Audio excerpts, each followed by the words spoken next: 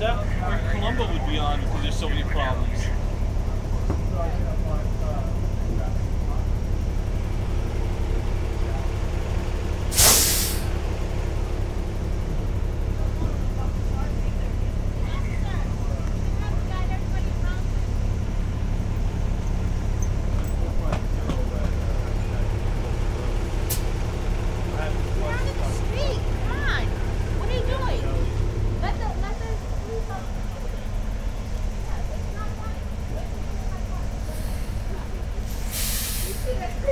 Yeah.